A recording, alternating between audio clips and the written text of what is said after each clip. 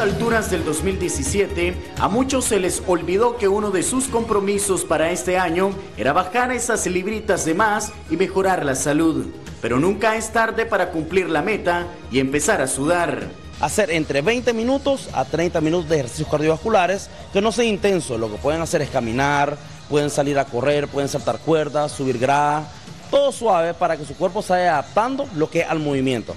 Bueno, también dicen algunos entrenadores que no solo tenés que hacer cardio, sino también ir solidificando lo que va bajando. ¿Es eso cierto? Así es, eh, los movimientos o todo lo que son trabajo de pesas te sirve también para quemar grasa, quemar calorías, porque tu cuerpo al momento de hacer pesas eh, lo que hace es romper fibra muscular y en todo el día comenzás a reparar.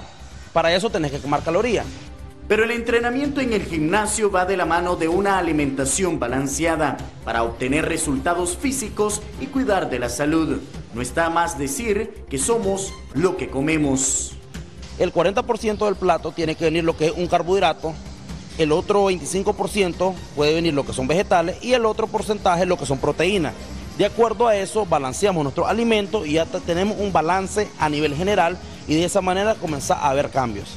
¿Y qué nos puede ayudar a ser perseverantes y no dejar el gimnasio tan rápido?